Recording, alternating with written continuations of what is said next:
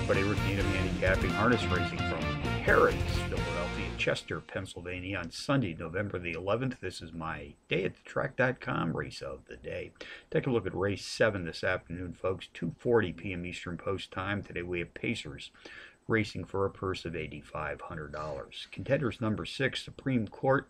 Number 1, Heed the Cool Man. Number 2, Upfront Mindale. And number 5, Educated Fool.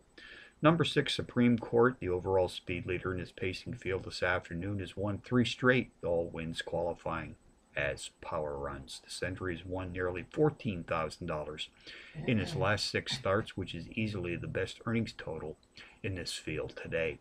Number one, Heed the Cool Man has hit the board in power run fashion in two straight, including a power run win his last time out. Race 7 summary number 6 Supreme Court tops my contenders list today here at Harrah's Philly, which also includes number 1 Heed a Cool Man, number 2 Upfront Mindale, and number 5 Educated Fool 6125 in the 7th from Harrah's Philly.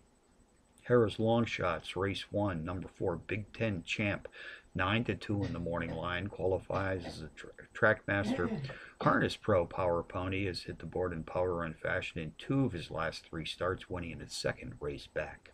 Race 6, the 9 to 2 shot, number 3, All Shuttle.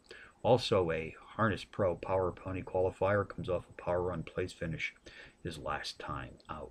So from Harrah's Philly on a Sunday, Rick Needham for day at the track.com, reminding you as always to please bet with your head, not over.